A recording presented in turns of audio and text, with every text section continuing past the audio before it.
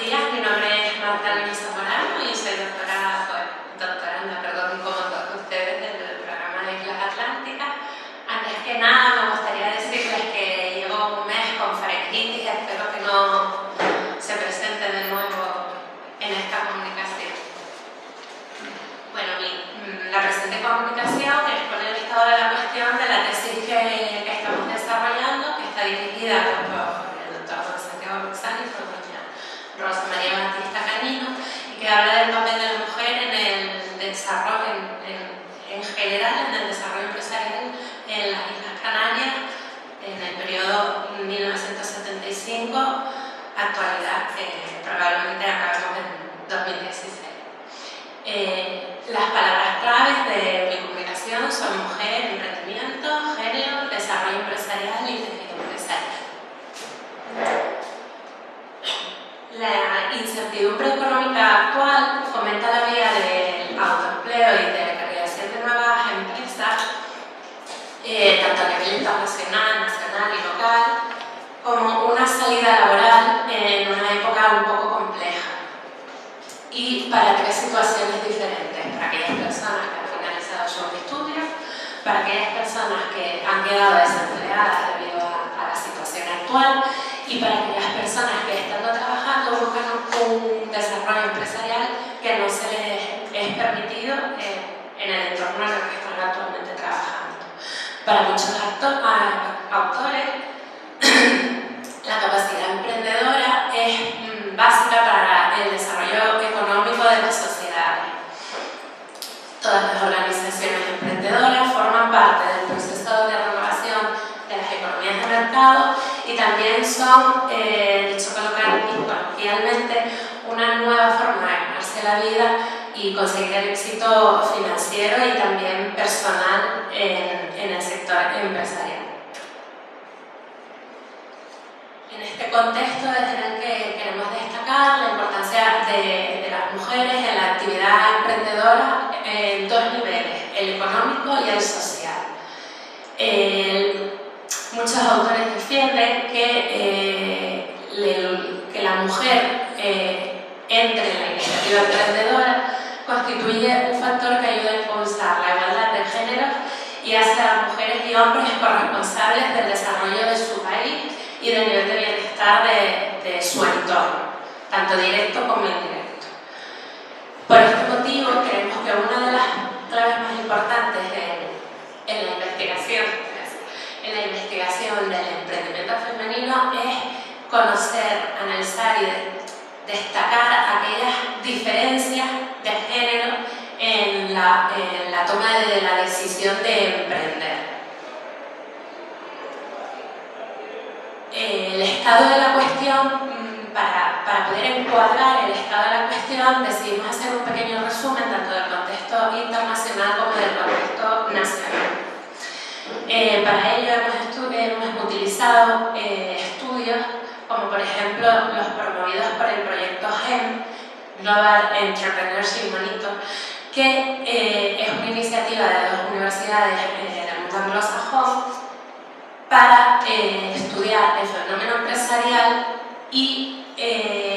ayudar a explicarlo y ayudar también a las mm, políticas nacionales e internacionales a fomentar el emprendimiento. A pesar del incremento de la actividad emprendedora experimentado en los últimos años, el porcentaje de mujeres que emprenden sigue siendo eh, bastante inferior al de los hombres emprendedores. Si tenemos en cuenta los estudios desarrollados por el proyecto GEM, el TEA, que es el índice de la actividad emprendedora y analiza a aquellas personas que ya están en el proceso de emprender o que ya han creado una empresa y están en el, la fase inicial de, de, de, esa empresa, el TEA femenino en las economías desarrolladas tiene un promedio bastante mayor que en, en el resto de las economías, e incluso mayor el TEA masculino en esas economías. También de eh, otros estudios se detecta que las mujeres son eh, un tercio más propensas a iniciar un negocio mm, que los hombres y después veremos eh, las causas que le llevan a ello. También eh, se cabe destacar que el patrón general del emprendedor lo encontramos en dos momentos claves del desarrollo de la carrera empresarial, que es al inicio, entre los 25 y los 34 años, y en la mitad de la carrera profesional, entre 35 y 44 años. En el ámbito nacional hemos tomado como referencia diferentes informes y estudios, también como el, proyecto GEN, localizado, mm, más localizado el caso español, planes estratégicos de igualdad del Instituto de la Mujer y el mapa del emprendimiento que crea todos los años en South Summit, que además está teniendo lugar hoy precisamente en, Península, que es un escaparate para emprendedores. Del informe GEN detectamos que 4 de cada 10 emprendedores en fase inicial en el año 2015 fueron mujeres, aunque sigue siendo por debajo del número de, hombres, la diferencia entre el emprendimiento entre hombres y mujeres ha ido disminuyendo en los últimos años. El Instituto de la Mujer eh, detecta una baja tasa de actividad empresarial de las mujeres. Aquí me gustaría destacar que eh, estudios sociológicos afirman que las mujeres, teniendo la misma capacidad para emprender eh, como punto de partida, emprenden menos por factores generalmente exógenos a ellas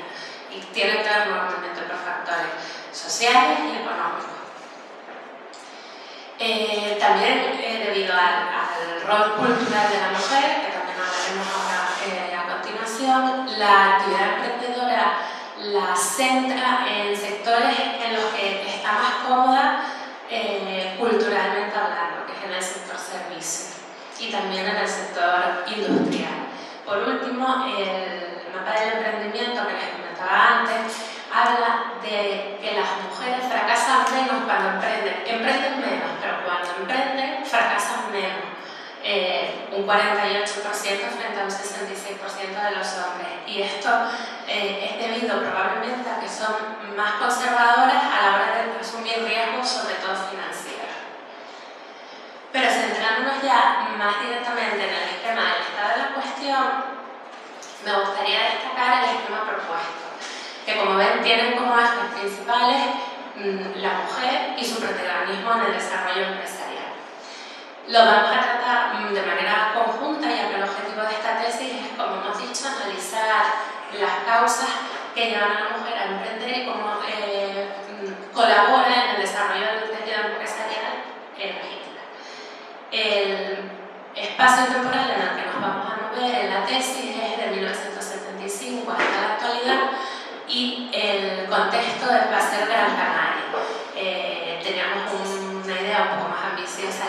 pero el estudio es bastante amplio, por suerte, porque hay bastante más artísticas mujeres emprendedoras y hemos tenido que ir delimitando un poco eh, la actuación.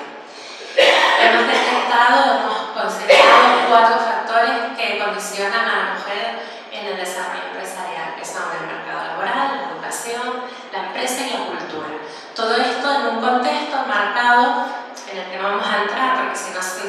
sería muy amplio, por, marcado por la situación económica en estos años, la situación social, el marco legal que no favorece el emprendimiento mm, ni de hombres ni de mujeres y el ámbito político.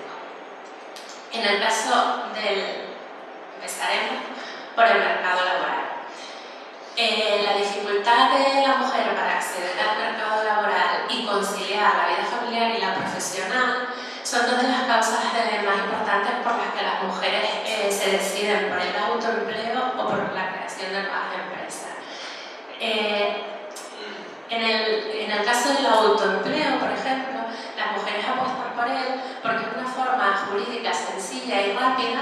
que en caso de éxito les permitirá en un futuro crear una empresa y convertirse en empleadoras, que, al final es la finalidad de casi todos los que crean un negocio.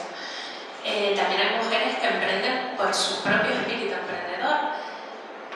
Y después hay otros autores que reducen las causas por las que la mujer emprende a dos factores, el factor de oportunidad y el factor de necesidad, que después veremos que la necesidad suele estar relacionada con su rol social también. En líneas generales, y esto va muy ligado al, factor que veremos después, que es el de la empresa, otra de las causas que motivan el emprendimiento femenino es el techo de cristal que encuentran en su desarrollo empresarial. Es una barrera eh, artificial, o más que artificial, transparente, pero muy real, que encuentran las mujeres en el desarrollo empresarial cuando trabajan por cuenta ajena y que tiene causas que podemos entender, eh, podemos englobar en tres grupos, los, eh, los sociales, las organizacionales y los actitudinales. Eh, he querido enseñar este cuadro para, porque es una comparativa, que es otra de las partes de, de, la tesis que nos gustaría abarcar, hacer una pequeña comparativa entre perfiles similares de mujeres, ver qué es lo que les lleva a emprender. Y vemos que el, la oportunidad en las mujeres es un 40 contra un 51% y en la necesidad es muy similar en hombres y mujeres. Sin embargo, en las mujeres parece que está más relacionada con un tema social que con un tema quizás de aspiraciones económicas. Otro de los aspectos que inciden eh, en el papel de la mujer en el desarrollo mm, empresarial es la empresa en sí misma como organización. Eh, la mujer en la empresa, cuando trabaja por cuenta ajena, eh, encuentra aspectos organizacionales tales como los sistemas de promoción, de recompensa y salariales que le impiden avanzar en su carrera. Esto unido a otras causas, como por ejemplo la insatisfacción en una ocupación anterior, el techo de cristal que comentábamos antes, el interés por poner en práctica sus propias ideas, la mejora salarial y también la libertad de acción y decisión motivan a la mujer a emprender. En, este caso me gustaría hacer un,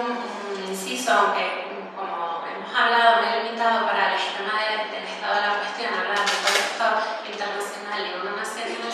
es en el mundo de la empresa donde sí hemos encontrado más estudios del papel de la mujer en Canarias, sobre todo en lo que se refiere a empresa, a empresa familiar, no como promotora quizás de sino como segunda generación o como mujeres que en un momento clave de esa empresa toman la rienda para poder dar un giro, un impulso al, al familiar. Eh, otro de los aspectos que comentábamos era la cultura, cultura entendida como entorno social. Eh, el rol de la, eh, social de las mujeres es otra de las mm, variables que inciden negativamente en el impulso emprendedor de, las mujeres. En el caso de, las mujeres existen factores que limitan su capacidad de emprender exclusivamente a la mujer y factores que limitan eh, al hombre y a la mujer, pero que sin embargo afectan más a las mujeres. La percepción de las habilidades emprendedoras también es otra de las causas eh, culturales y sociales que mm, entorpecen eh, la capacidad emprendedora de las mujeres, tanto la percepción por parte de la sociedad, aunque curiosamente en los estudios se detecta que es positiva, como la autopercepción de las mujeres sobre sí mismas como emprendedoras, que suele ser negativa. Las redes sociales también son un factor sociocultural muy importante no las redes sociales, social media, sino las redes que crean las mujeres y que son súper importantes para los negocios como proveedores, asesores, etc. Se detecta que la mujer se decanta por redes sociales femeninas y eh, sobre todo es muy vinculada a la familia. Y por último, comentar su rol social, la mujer suele emprender negocios vinculados por mm, lo que culturalmente estamos acostumbrados a esperar de ella. Educación, cuidado, eh, hogar, etc. Eh, para terminar, el último aspecto que tratamos en este esquema del estado de la cuestión es la educación. Quizás es en la educación donde nos hemos encontrado mayor divergencia de criterios entre los estudiosos del tema. Eh, aunque creo que para todos mm, es claro que una mejor preparación formativa puede ayudar a una mejor emprendeduría, es cierto que el factor determinante eh, de los emprendedores es que no tienen miedo al fracaso. Y en las mujeres quizás esto se detecta mm, eh, con un punto más de rebeldía que en los hombres.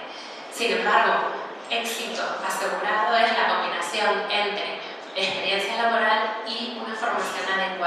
Curiosamente, las mujeres emprendedoras jóvenes tienen muy buena formación y las mujeres que ya son empresarias establecidas tienen una formación menor, pero ahora están demandando mejorar esta formación para poder sacar más partido, aplicar nuevas tecnologías, etcétera, a las empresas que ya tienen constituidas. Eh, tengo otra parte, pero sí, creo que ya deberíamos terminar. Normalmente, eh, había pensado finalizar el estado de la cuestión exponiendo un poco a qué me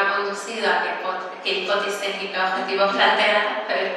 creo que ya eso me excedo de mi tiempo. Muchas gracias.